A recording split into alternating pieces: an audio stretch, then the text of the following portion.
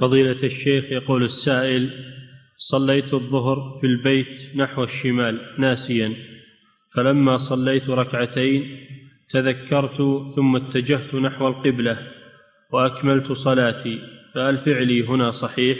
لا ما هو صحيح لأنه بإمكانك تسأل بإمكانك تشوف المساجد فلست معذورا في انحرافك عن القبلة إلى جهة الشمال فتعيد الصلاة تعيد الصلاة لأنك غير معذور في توجهك إلى غير القبلة.